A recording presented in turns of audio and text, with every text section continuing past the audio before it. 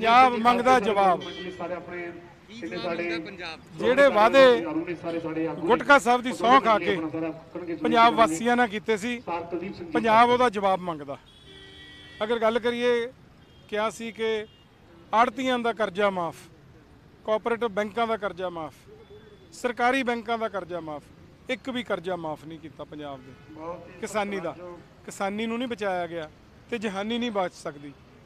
ਉਸ ਤੋਂ ਇਲਾਵਾ ਗੱਲ ਕਰੀਏ ਬਿਜਲੀ 5 ਰੁਪਏ ਯੂਨਿਟ ਦੇਣ ਦਾ ਵਾਅਦਾ ਕੀਤਾ ਸੀ। 13 13 ਰੁਪਏ ਬਿਜਲੀ ਪੈ ਰਹੀ ਹੈ। ਸੋ ਮੈਂ ਇਹ ਗੱਲ ਕਰਦਾ ਵਾ ਵੀ ਗੁਟਕਾ ਸਾਹਿਬ ਦੀ ਝੂਠੀ ਸਹੁੰ ਖਾ ਕੇ ਪੰਜਾਬ ਦੇ ਲੋਕਾਂ ਨੂੰ ਧੋਖਾ ਦਿੱਤਾ ਤੇ ਅੱਜ ਫੇਰ ਉਹ ਧੋਖਾ ਦੁਬਾਰਾ ਕਰਨ ਤੋਂ ਆ ਗਏ ਆ ਕਿ ਇਲੈਕਸ਼ਨ ਨੇੜੇ ਆ ਗਏ ਪਰ ਪੰਜਾਬ ਦੇ ਲੋਕਾਂ ਨੇ ਹੁਣ ਇਹਨਾਂ ਨੂੰ ਮੂੰਹ ਨਹੀਂ ਲਾਉਣਾ। ਔਰ ਪੰਜਾਬ ਦੇ ਲੋਕ ਆਪਣਾ ਮਨ ਬਣਾ ਚੁੱਕੇ ਆ ਅਮੀਤ ਸਿੰਘ ਜੀ ਕਲਾਸ ਸਾਹਿਬ। ਇੱਕ ਦੂਜੇ ਪਾਸੇ ਪੇਰੈਂਟਸ ਜਾ ਰਹੇ ਹੈ ਅਤੇ ਉਹਨਾਂ ਦੇ ਨਾਲ ਜਿਹੜੇ ਲਈ ਜਾ ਰਹੇ ਹੈ ਜਦਕਿ ਸਰਕਾਰ ਨੇ ਹਾਈ ਕੋਰਟ ਨੇ ਵੀ ਆਰਡਰ ਦਿੱਤੇ ਕਿ ਨਹੀਂ ਲੈ ਸਕਦੇ। ਲੇਕਿਨ ਪੇਰੈਂਟਸ ਵੀ ਤੰਗ ਆ ਚੁੱਕੇ ਹੈ ਸਰਕਾਰ ਤੋਂ ਕਿ ਕਾਲੀ ਸਰਕਾਰ ਨੇ ਰੱਦ ਕਰੇਗੀ। ਔਰ ਇਹ ਸਰਕਾਰ ਦੀ ਲਾਪਰਵਾਹੀ ਆ ਕਿ ਸਰਕਾਰ ਦੇ ਆਰਡਰਾਂ ਤੋਂ ਇਲਾਵਾ ਕਿਵੇਂ ਸਕੂਲ ਵਾਲੇ ਪੈਸਾ ਲੈ ਜਾਣ? ਇਹ ਸਰਕਾਰ ਦੀ ਮਿਲੀ ਭੁਗਤ ਹੈ ਸਕੂਲ ਵਾਲਿਆਂ ਨੂੰ ਕਹੇ ਤੁਸੀਂ ਪੈਸੇ ਲੈ ਲਓ। ਤੇ ਪੇਰੈਂਟਸ ਨੂੰ ਕਹਤਾ ਤੁਸੀਂ ਪੈਸੇ ਨਾ ਦਿਓ। ਤੇ ਜਦੋਂ ਪੇਰੈਂਟਸ ਪੈਸੇ ਨਹੀਂ ਦਿੰਦੇ, ਤੇ ਉਹਨਾਂ ਦੇ ਬੱਚੇ ਦਾ ਨਾਮ ਉਸ WhatsApp ਲਿਸਟ ਚੋਂ ਕੱਟ ਦਿੱਤਾ ਜਾਂਦਾ। ਮਤਲਬ ਜਿਹੜੇ ਜ਼ਿਆਦਾਤਰ ਮੰਤਰੀਆਂ ਤੇ ਐਮਐਲਏ ਦੇ ਹੈ ਕਿ ਫਿਰ ਵੀ ਉਸ ਤੋਂ ਬਾਅਦ ਕਈ ਅਕਾਲੀਆਂ ਦੇ ਸਕੂਲ ਲੇਕਿਨ ਉਹ ਸਕੂਲ ਦੀ ਫੀਸ ਜਾ ਇਹ ਸਰਕਾਰ ਧੋਖੇਬਾਜ਼ਾਂ ਦੀ ਸਰਕਾਰ ਆ, ਤੇ ਇਹਨਾਂ ਨੇ ਧੋਖਿਆਂ ਦੇ ਵਿੱਚ ਮੁਹਾਰਤ ਹਾਸਲ ਕਰ ਲਈ ਆ। ਸੋ ਪੰਜਾਬ ਦੇ ਲੋਕ ਮਨ ਬਣਾ ਚੁੱਕੇ ਆ। ਆਉਂਦੇ ਸਮੇਂ ਦੇ ਵਿੱਚ ਇਹਨਾਂ ਨੂੰ ਵਾਂਝੇ ਕਰਕੇ ਸਰ ਸੁਖਵੀਰ ਸਿੰਘ ਬਾਦਲ ਨੂੰ ਪੰਜਾਬ ਦਾ ਮੁੱਖ ਮੰਤਰੀ ਬਣਾਇਆ ਜਾਊਗਾ।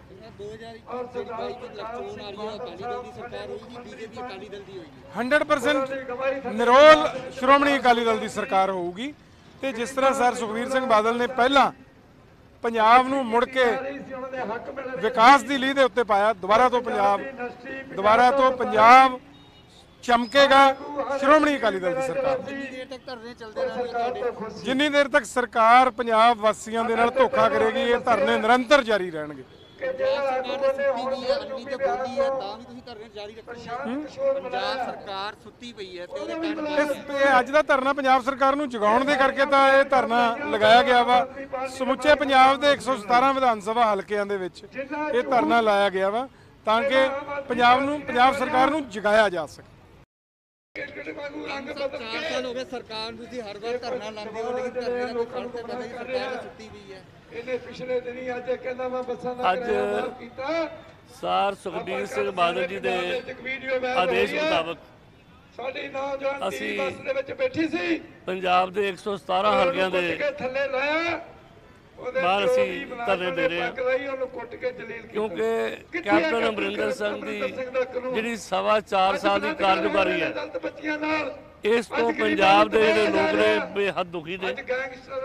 ਅੱਜ ਪੰਜਾਬ ਦੇ ਲੋਕ ਕੈਪਟਨ ਅਮਰਿੰਦਰ ਸਿੰਘ ਤੋਂ ਜਵਾਬ ਮੰਗਦੇ ਆ ਕਿ ਜਿਸ ਵਕਤ ਪਿਛਲੀ ਸਰਕਾਰ ਬਣਨ ਤੋਂ ਪਹਿਲਾਂ ਤੁਸੀਂ ਹੱਥ ਵਿੱਚ ਗੁਟਕਾ ਸਾਹਿਬ ਫੜ ਕੇ ਸਹੁੰ ਚੱਕੀ ਸੀ ਕਿ ਮੈਂ ਪੰਜਾਬ ਦੇ ਕਿਸਾਨਾਂ ਦਾ ਕਰਜ਼ਾ ਮਾਫ ਕਰ ਦੂੰਗਾ ਚਾਹੇ ਉਹ ਕਰਜ਼ਾ ਬੈਂਕਾਂ ਦਾ ਚਾਹੇ ਉਹ ਕੋਆਪਰੇਟਿਵ ਸੁਸਾਇਟੀਆਂ ਦਾ ਚਾਹੇ ਉਹ ਆੜਤੀਆਂ ਦਾ ਮੈਂ ਸਾਰੇ ਕਰਜ਼ੇ ਤੇ ਲਾਲ ਲਕੀਰ ਮਾਰ ਦਾਂਗਾ ਔਰ ਦੂਜਾ ਇਸ ਔਰ ਉਸ ਤੋਂ ਬਾਅਦ ਉਹਨਾਂ ਨੇ ਕਿਹਾ ਕਿ ਨੌਜਵਾਨਾਂ ਨੂੰ ਮੈਂ ਹਰ ਘਰ ਵਿੱਚ ਇੱਕ ਨੌਕਰੀ ਦਿਆਂਗਾ। ਅਮਰਿੰਦਰ ਸਿੰਘ ਦੇ ਸੱਜੇ ਦੇ ਹਰ ਨੌਜਵਾਨ ਨੂੰ ਮੈਂ ਸਮਾਰਟਫੋਨ ਨੇ। ਜਿਹੜੀ ਪੈਨਸ਼ਨ ਹੈ ਉਹ ਮੈਂ 2500 ਰੁਪਇਆ ਕਰ ਨੇ ਅਨੇਕਾਂ ਕਿਸਮ ਦੇ ਵਾਅਦੇ ਕਰਕੇ ਝੂਠ ਬੋਲ ਕੇ ਲੋਕਾਂ ਨੂੰ ਗੁੰਮਰਾਹ ਕਰਕੇ ਲੋਕਾਂ ਨਾਲ ਧੋਖਾ ਕਰਕੇ ਕੈਪਟਨ ਅਮਰਿੰਦਰ ਸਿੰਘ ਨੇ ਸਰਕਾਰ ਬਣਾਈ ਤੇ ਸਰਕਾਰ ਬਣਨ ਤੋਂ ਬਾਅਦ ਇਹਨਾਂ ਨੇ ਆਪਣੀ ਅੱਖਾਂ ਫੇਰ ਲਈਆਂ ਅੱਜ ਸਵਾ ਚਾਰ ਸਾਲ ਬੀਤ ਗਏ।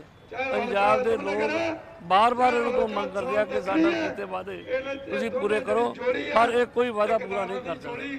ਤੋ ਅੱਜ ਦਾ ਅੱਜ ਹਰ ਵਰਗ ਜਿਹੜਾ ਪੰਜਾਬ ਦਾ, ਉਹ ਇਸ ਗੱਲ ਤੋਂ ਜਿੱਥੇ ਦੁਖੀ ਹੈ, ਉੱਥੇ ਹਰ ਇੱਕ ਦੀ ਇਹ ਤਮੰਨਾ ਇਹ ਖਾਹਿਸ਼ ਹੈ ਕਿ ਪੰਜਾਬ ਦੇ ਅੰਦਰ ਚੋਣਾਂ ਆਉਣ ਤੇ ਅਸੀਂ ਸਰਕਾਰ ਜਿਹੜੀ ਹੈ, ਉਹ ਸਾਰ ਸੁਖਬੀਰ ਸਿੰਘ ਬਾਦਲ ਜੀ ਦੀ ਅਗਵਾਈ ਸਰਕਾਰ ਬਣਾਈਏ। ਤਾਂ ਜੋ ਜਿਹੜੇ ਵਿਕਾਸ ਦੇ ਕੰਮ, ਪਹਿਲੀ ਸਰਕਾਰ ਸ਼੍ਰੋਮਣੀ ਅਕਾਲੀ ਦਲ ਦੇ ਵੇਲੇ ਹੋ- ਚੱਲਦੇ ਸੀ ਵਿਕਾਸ ਦੇ ਕੰਮ ਇਹ ਕਾਂਗਰਸ ਸਰਕਾਰ ਬਣਨ ਤੋਂ ਬਾਅਦ ਵਿਕਾਸ ਦਾ ਕੰਮ ਸਾਰਾ ਹੀ ਠੱਪ ਹੋ ਗਿਆ। ਤੋਂ ਇਹ ਵਿਕਾਸ ਦੀਆਂ ਲੀਹਾਂ ਤੇ ਫਿਰ ਇਹਨੂੰ ਗੱਡੀ ਨੂੰ ਲਿਆਉਣ ਵਾਸਤੇ ਪੰਜਾਬ ਦੇ ਲੋਕ ਚਾਹੁੰਦੇ ਆ ਕਿ ਪੰਜਾਬ ਅੰਦਰ ਸ਼੍ਰੋਮਣੀ ਅਕਾਲੀ ਦਲ ਦੀ ਸਰਕਾਰ ਬਣੇ ਤੇ ਸਰ ਸੁਖਬੀਰ ਸਿੰਘ ਬਾਦਲ ਇਹਦੇ ਮੁੱਖ ਮੰਤਰੀ ਬਣ। ਸਾਡੇ ਸਾਡੇ ਹਲਕਾ ਵਿਕਾਸ ਜਿੰਨੇ ਗੈਰ ਕਾਨੂੰਨੀ ਆ ਜ਼ਿਆਦਾਤਰ ਵਿਕਾਸ ਨਹੀਂ ਹੋ ਰਹੇ। ਹਰ ਵਾਰਡ 'ਚ ਗੈਰ ਕਾਨੂੰਨੀ ਬਿਲਡਿੰਗ ਪਹਿਲਾਂ ਮੈਂ ਇੰਦਰਜੀਤ ਸਿੰਘ ਜੀ ਗਿੱਲ ਸਾਹਿਬ ਨੂੰ ਬੇਨਤੀ ਕਰੂੰਗਾ ਵੀ ਇਸੇ ਕਰਕੇ ਲੋਕ ਦੁਖੀ ਰਹੇ ਕਿ ਇਹਨਾਂ ਨੇ ਆਪਣੀਆਂ ਜੇਬਾਂ ਭਰਨ ਵਾਸਤੇ ਸਾਰੇ ਗੈਰ ਕਾਨੂੰਨੀ ਕੰਮ ਕੀਤੇ। ਇਹਨਾਂ ਨੇ ਸ਼ਰਾਬ ਦੇ ਠੇਕੇ ਜਿਹੜੇ ਆ ਮੈਂ ਕਹਿੰਦਾ ਜਾਲੀ ਢੰਗ ਨਾਲ ਸ਼ਰਾਬ ਤਿਆਰ ਕਰਕੇ ਇਹਨਾਂ ਨੇ ਵੇਚੀ। ਠੇਕਿਆਂ ਅੰਦਰ ਸ਼ਰਾਬ ਘੱਟ ਵਿਕਦੀ ਸੀ ਤੇ 2 ਨੰਬਰ ਦੀ ਸ਼ਰਾਬ ਜ਼ਿਆਦਾ ਵਿਕਦੀ ਸੀ।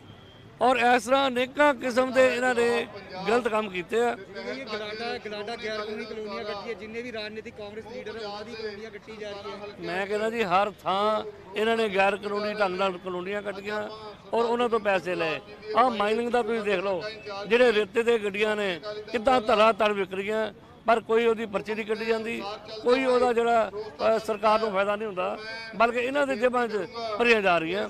ਤੋ ਇਸ ਕਰਕੇ ਲੋਕ ਕਿਉਂ ਨਹੀਂ ਐਕਸ਼ਨ ਚੱਕ ਰਹੀ ਹੈ ਇਹਨਾਂ ਤੇ ਕਿਉਂ ਨਹੀਂ ਚੱਲਦਾ ਸਰਕਾਰ ਬਣਨ ਤੋਂ ਬਾਅਦ ਕੱਲੇ ਕੱਲੇ ਦਾ ਹਿਸਾਬ ਲਿਆ ਜਾਊਗਾ। ਸਾਰ ਸੁਖਬੀਰ ਸਿੰਘ ਬਾਦਲ ਨੇ ਇੱਕ ਲਾਲ ਡਾਇਰੀ ਲਗਾਈ ਹੋਈ ਹੈ। ਇਹਨਾਂ ਨੇ ਬਹੁਤ ਸਾਰੇ ਧੋਖੇ ਕੀਤੇ ਆ। ਸਾਡੇ ਜਿਹੜੇ ਵਰਕਰ ਆ ਉਹਨਾਂ ਦੇ ਅਨੇਕਾਂ ਪਰਚੇ ਦਰਜ ਕੀਤੇ ਆ। ਹਰ ਅਫਸਰ ਦਾ ਨਾਂ ਜਿਹਨੇ ਗਲਤ ਕੰਮ ਕੀਤਾ ਉਸ ਲਾਲ ਡਾਇਰੀ 'ਚ ਦਰਜ ਹੈ। ਸਮਾਂ ਆਉਣ ਤੇ ਇਹਨਾਂ ਤੋਂ ਕੱਲੇ ਕੱਲੇ ਤੋਂ ਹਿਸਾਬ ਲਿਆ ਜਾਏਗਾ। ਉਹ ਲਾਲ ਡੈਰੀ ਡਾਇਰੀ ਖੁੱਲੇਗੀ 2022 ਸਰਕਾਰ ਬਣਨ ਤੋਂ ਬਾਅਦ। ਇੱਥੇ ਧਰਨਾ ਲਾਣਾ ਪਿਆ ਅਕਾਲੀਆਂ ਇਕੱਠੇ ਹੋ ਕੇ ਕੈਪਟਨ ਸਾਹਿਬ ਵੱਲੋਂ ਜਨਤਾ ਦੀ ਕਚਹਿਰੀ ਵਿੱਚ ਝੂਠ ਬੋਲ ਕੇ ਸਰਕਾਰ ਬਣਾਉਣ ਤੋਂ ਬਾਅਦ 4 ਸਾਲਾਂ ਦੇ ਵਿੱਚ ਇੱਕ ਵੀ ਵਾਅਦਾ ਪੂਰਾ ਨਹੀਂ ਕੀਤਾ ਗਿਆ। ਅੱਜ ਉਸ ਸਰਕਾਰ ਨੂੰ ਜਗਾਉਣ ਵਾਸਤੇ, ਲੋਕਾਂ ਨੂੰ ਲੋਕਾਂ ਦੇ ਹੱਕ ਦਿਵਾਉਣ ਵਾਸਤੇ ਅੱਜ ਦਾ ਇਹ ਧਰਨਾ ਲਾਇਆ ਮੈਂ ਗਰੀਬੀ ਇੱਥੇ ਧਰਨਾ ਚੱਲੇਗਾ ਸਰਕਾਰ ਤਾਂ ਸੁੱਤੀ ਪਈ ਹੈ ਬੋਲੀ ਹੈ ਸੁੱਤੀ ਨਹੀਂ ਪਈ ਚਾਰ ਸਾਲਾਂ ਚ ਜਿੱਤਣਾ ਹੁਣ ਧਰਨੇ ਨਾਲ ਚ ਜਾਇ ਜਾਏਗੀ ਸਰਕਾਰ? ਅਮਰਿੰਦਰ ਸਿੰਘ ਨੇ ਦੇਖੋ ਜੀ ਡੈਮੋਕ੍ਰੇਸੀ ਦੇ ਵਿੱਚ ਇਹੋ ਇੱਕ ਢੰਗ ਹੈ ਜਿਹੜਾ ਸਰਕਾਰ ਦਾ ਵਿਰੋਧ ਕਰਨ ਦਾ ਹੈ, ਸ਼ਾਂਤਮਈ ਢੰਗ ਨਾਲ। ਅਸੀਂ ਉਹ ਕਰ ਰਹੇ ਹਾਂ। ਬਾਕੀ ਅਸੀਂ ਜਨਤਾ ਨੂੰ ਜਗਾ ਰਹੇ ਹਾਂ। ਸਰਕਾਰਾਂ ਨੇ ਨਹੀਂ ਜਾਗਣਾ ਕੈਪਟਨ ਨੇ ਨਹੀਂ ਜਾਗਣਾ ਪਰ ਜਨਤਾ ਜਾਗ ਜੂਗੀ 2022 ਦੇ ਵਿੱਚ ਉਹਦਾ ਬਿਸਤਰਾ ਗੋਲ ਜ਼ਰੂਰ ਕਰ ਦੂਗੀ Subscribe to our YouTube channel News DNN by clicking the bell icon. Don't forget to like, comment, and share.